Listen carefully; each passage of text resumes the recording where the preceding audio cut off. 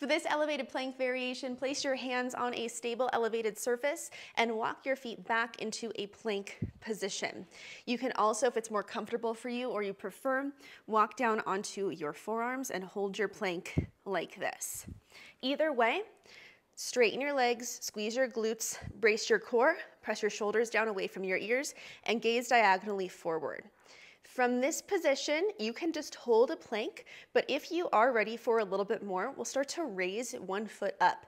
It may be helpful to walk your feet close together, and then from here, lift one leg, lower it down, and then lift your other leg and lower it down. Never arching our back, right? And never lifting so high that you're forced to lose your form just a small little raise, continually keeping everything else stable as your legs move.